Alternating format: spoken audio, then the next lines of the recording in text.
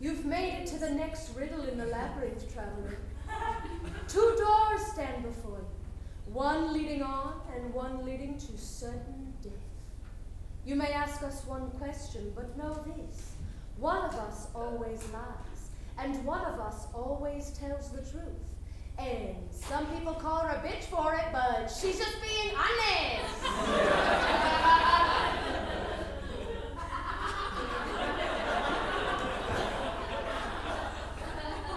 Who is who? That's right. One of us always lies, and one of us is like your friend who says she's just being honest and is really just kind of a cunt. You've solved the riddle of the Sphinx, traveler.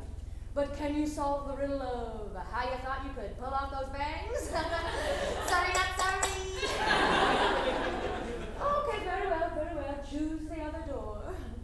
Oh, real quick though, when you come up on the bridge troll, don't get him any money, okay? He's just gonna spend it on room.